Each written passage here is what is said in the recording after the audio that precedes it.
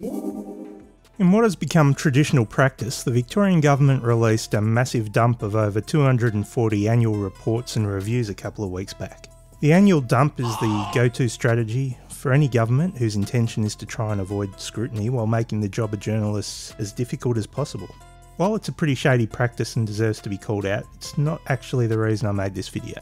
Back when I was looking at the federal government's Visionary Housing Australia Future Fund, I got to looking at a similarly impressive sounding announcement from the Victorian government three years ago. Victoria's Big Housing Build. Announced just over three years ago now in November 2020, the big housing build launched with a lot of high vis, fanfare, and an impressive looking dollar figure attached. The budget also includes the $5.3 billion allocated for 12,000 new social housing units. $5.3 billion. The media release had a lot of numbers in it, but the key promise was that the 5.3 billion would deliver 12,000 new homes throughout metro and regional Victoria within 4 years. Of those 12,000 homes, the Victorian government promised 9,300 social housing homes, or an increase to the state's social housing supply of 10% within just 4 years. Now, uh, we're here at uh, Dunlop Avenue, Dunlop Avenue uh, in Ascot Vale uh, to mark a really significant milestone in our big housing build. $5.3 billion in new money provided in last year's budget. That's on top of more than a billion dollars that we'd already committed to invest, both in terms of maintenance and new build at the election in 2018. Uh, this is more than 12,000 extra units, so new units, an increase of 10% fully on the total social and affordable uh, and public housing stock, if you like. This is more money than has been spent by any government, state or federal, in the history of our nation to boost public, social, and affordable housing. The reality is that despite the big announcements, the amount of social housing stock in Victoria has barely shifted. Looking back over the last nine years' worth of data, the total number of social housing stock has fluctuated plus or minus around 1,000 homes. In the 2017 18 reporting period, there were 86,813 social housing homes. In 2022 23, there were 88,189, or a net increase of 1,376 homes. It's better than a decrease, I guess, but to put it into some relevant context, as at the 31st of March 2018, there were 44,028 applications on the Victorian Housing Register. This is people looking for social housing. As of June 2023, that figure had grown to 65,195, or an increase of roughly 45%. It's pretty obvious to see there that the amount of social housing stock has not been able to keep pace with demand. Often these units are smaller than what is being destroyed and so less likely to be able to house whole families. And so what we see is families being pushed out of the city. Now, to be fair, with less than 12 months left, there's always the chance that the Victorian Government will come home with a wet sail on its promise for the big housing build to increase social housing by 10%. I'm just saying that given what we've seen so far, it's probably going to take some creative accounting to get there. The fact that the big housing build is struggling to deliver shouldn't really be a surprise to anyone. Not long after the big housing build announcement in 2020, RMIT's Centre for Urban Research and Sustainability in Urban Planning released a report that essentially outlined that the planning behind the big housing build was not necessarily going to return the best bang for buck. That is, I guess, if you choose to measure bang for buck in terms of the number of homes delivered and not dollars in developers' pockets. RMIT's analysis found that direct capital investment using public land would deliver approximately 20,000 homes for the same cost, with the asset, e.g., land plus housing, remaining in public ownership, delivering reduced costs in other government funded areas as well. But given the Victorian Government's apparent love for selling off public stuff, the direct capital investment route was always an unlikely option. The Victorian Labor Government wants to sell off public housing land in the inner city to private developers. Developers stand to make big profits, but public housing residents stand to lose out.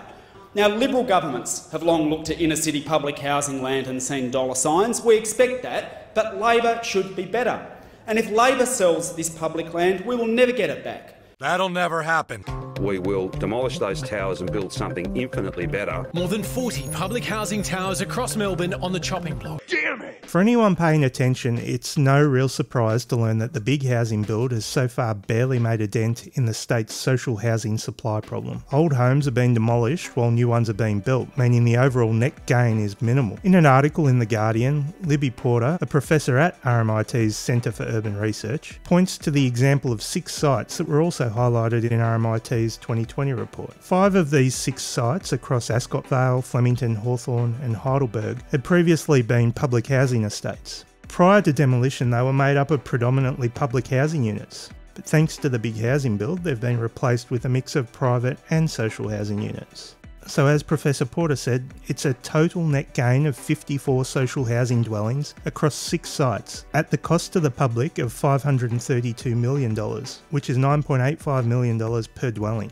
Again, there's a lot of numbers mentioned here, but it's important to remember that failure to take sufficient action has real world consequences that impact real people. Consider this sobering example. In 2018, the average waiting time for public rental housing for those clients who have received priority access housing allocation was 10.5 months.